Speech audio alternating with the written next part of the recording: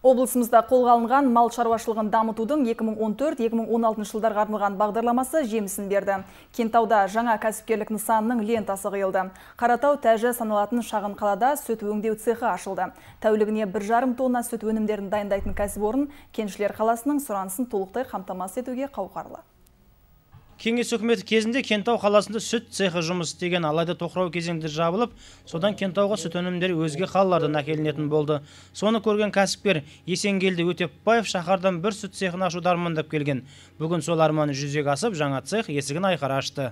Сүт өңдеу цехын ашуға максимум инвестициялық орталығынан 25 миллион теңге несие алынды. Айына бір жарым тонна пастерленген сүт бір жарым тонна айран 250 килограмм қаймақ және дәл осыншама мөлшерде сүзбе өнімдері шығарылып қаланың сауда нүктелерінде сатылуда.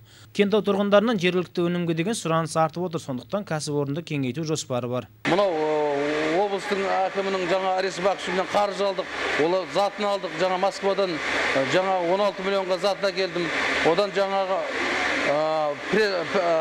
бақылаушы шығаратын прессін установкасын әкелдім. Құятын аппараттарды әкелдім мынау. Бұл россияданікі мынау мынау кореянікі енді құда қаласа осы тірлік аяққа бұл көш жүре түзеледі дейді. Біртіндеп орынға қоямыз. Мұндағы өндірілетін сүт жергілікті тұрғындардан сатып алынады. Дайын өнімді құятын ыдысты да өздері шығарады. Мына бұл гильзаны мына аппаратқа қоямыз. Ол до определенной температура көтерілу керек. жетпіс градусқа айланып шыққан кейін аламыз да мына жақта матрицаға қоямыз.